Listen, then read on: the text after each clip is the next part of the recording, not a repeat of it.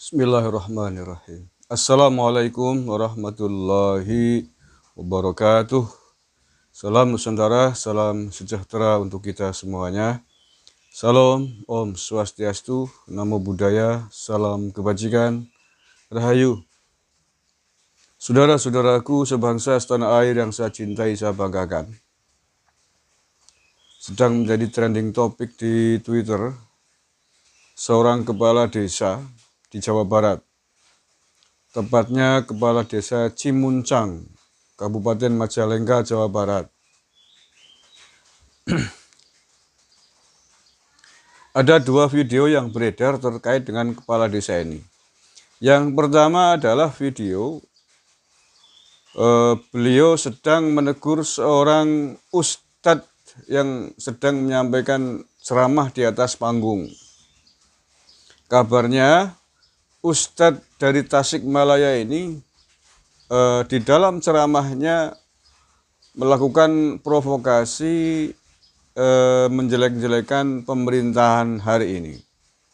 Nah, oleh karena itulah kepala desa ini tidak terima dan menegurnya bahwa jangan bawa-bawa, jangan melakukan uh, ujaran kebencian kepada pemerintah di desa yang ia pimpin, di daerah yang ia pimpin. Karena ustadznya ini uh, bukan dari daerah setempat, bukan dari Cimuncang, bukan dari Majalengka, tetapi dari Tasikmalaya. Ini masih muda, yo.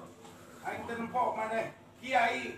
Ngaji diri, sebenarnya siau lah nyinggung ke pemerintah. Belajar Pak. Wah, aing dibelain aso. Wah, aing ditutup enak. Teu aya di dieu mah maneh radikal kieu ini. Abdi sebatas Ayo, mengukur. siau lah pedang dia duda makan. Aing kakara nang turun ke kieu. Mangga, mangga, Teu meunang di luar daerah ngan saprak siakan negara mangga. Satu itu ya. Kemudian video yang kedua adalah video di mana kades ini kemudian dipersekusi oleh sejumlah orang berpakaian muslim dari gaya-gayanya sudah bisa kita tebak lah dari kelompok apa dan model-model seperti apa yang suka mempersekusi orang gitu ya. Yang kemudian eh, pada akhirnya atas persekusi itu, ini videonya bisa kita lihat semuanya,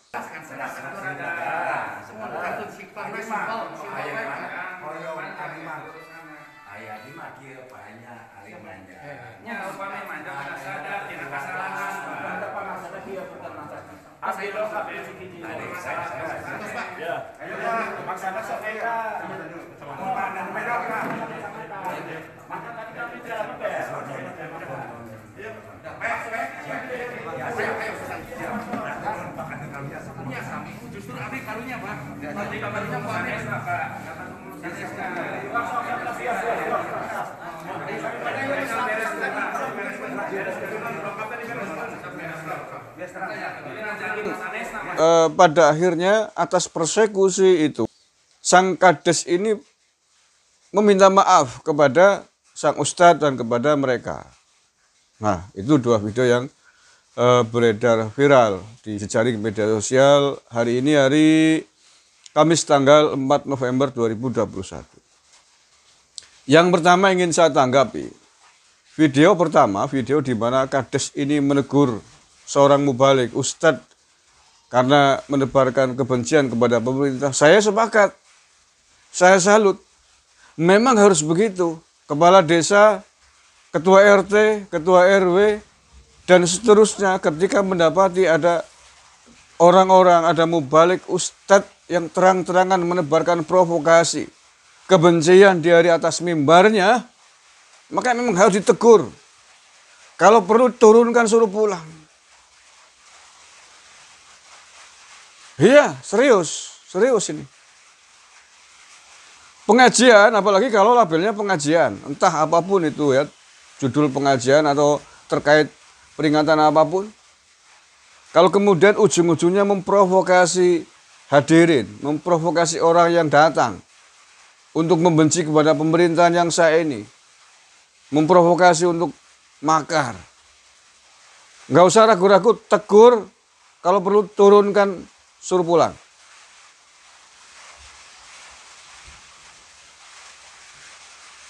Ini mestinya tugasnya aparat kepolisian. yang begini ini. Kades ini eh, menyampaikan dengan bahasa Sunda saya tidak terlalu paham, tapi informasinya bahwa eh, apa yang disampaikan adalah jangan melakukan eh, menjelek-jelekan pemerintah di daerah kami. Itu intinya itu. Kemudian dipersekusi oleh gerombolan-gerombolan orang yang tidak bertanggung jawab, main persekusi, suruh minta maaf. Ini tidak bisa dibenarkan ini. Ini aparat kepolisian tidak bisa tinggal diam dan harus ngurus ini. Jangan kemudian hanya sekedar mendamaikan tanpa melihat inti persoalannya Pak Polisi. Karena saya kabar, eh, kabarnya ini didamaikan di kantor aparat keamanan. Di situ ada terlihat ada baju seragam TNI, atribut TNI atau mirip nggak tahu tapi sepertinya atribut TNI. Artinya pasti ada aparat TNI, ada aparat Polri. Kalau memang materinya asang ustadz ini adalah menjelek-jelekan pemerintah, mestinya polisi, aparat tidak hanya sekedar bagaimana mereka damai, tapi harus dilanjutkan dengan mengusut ustadz ini. Materi yang disampaikan itu apa? Lo kalau damai tapi substansi materi dia memprovokasi negara, diterus-teruskan ya apa gunanya? Nggak boleh dibiarkan begitu. Polisi boleh sopan, manusiawi, humanis, tapi melihat konteksnya dong konteksnya menghadapi gerombolan dari ormas-ormas yang sudah terlarang, yang menyerukan kebencian kepada negara tidak bisa dong dihadapi dengan lemah lembut. Harus dihadapi dengan ketegasan. Loh kalau begitu marwah merah putih mau dibawa ke mana? Jangan kemudian hanya sekedar rampung damai antara kedua belah pihak, Pak Kades dan ustadznya damai tapi substansi pokok dari sang ustadz tidak diurus, ya sama saja melepaskan buaya. Polisi harus eh, apa namanya humanis, apa sesuai SOP prosedur. Saya sepakat, tetapi lihat konteksnya dong. Kalau misalkan di kantor polisi menerima pengaduan masyarakat, menerima laporan dan itu memang harus humanis. Harus itu. Tapi kalau di lapangan menghadapi gerombolan-gerombolan pengacau negara, menghadapi orang-orang yang ingin makar kepada negara, ya nggak ada humanis humanisan di sini. Orang mereka mau meruntuhkan negara kalau di humanis humanisi, kira-kira nggak susah dibilangin nggak manut aturan, gajul sisan kan kayak gitu. Emosi saya ini kalau melihat begini ini. ini. Mestinya sekali lagi kembali kepada konteks kepala desa, kembali kepada konteks kepala desa tadi. Seandainya ini benar bahwa Pak Kades Cimuncang Majalengka Jawa Barat menegur seorang ustadz yang memang memprovokasi menyebarkan kebencian kepada pemerintah, maka Kades ini yang harus didukung. Dan gerombolan-gerombolan yang telah mempersekusi Kades itu yang harus diusut, harus diurus, nggak boleh dibiarkan. Emang negerinya siapa? Negeri apa? Oke ya, itu saja yang bisa saya sampaikan. Sekali lagi, prihatin atas peristiwa persekusi yang ada di Cipasung, apa nih, desa apa tuh, Majalengka, Jawa Barat.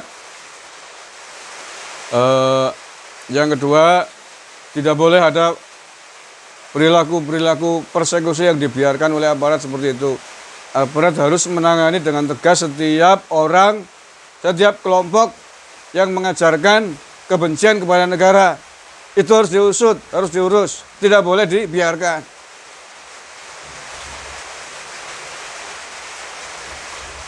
Kades ini benar kalau emang sang ustadz menebarkan kebencian. Kades ini benar, harus kadesnya semua kades harusnya seperti itu. Ditatar seperti itu semua kades mestinya kades sama seluruh pimpinan pemerintahan dari level terendah sampai atas dibayar oleh negara ditugaskan oleh negara, kasih amanah oleh negara untuk menjaga negara ini. Menjaga dari pihak mana pun yang ingin merongrongnya. Bukan menye-menye. Kepala desa, camat, bupati, ada ustadz radikal, diem-diem baik. Apa-apaan, mundur kalian. Kalau nggak mau tegas dengan musuh-musuh bangsa dan negara. Terima kasih. Wallahual Assalamualaikum warahmatullahi wabarakatuh. NKRI harga mati.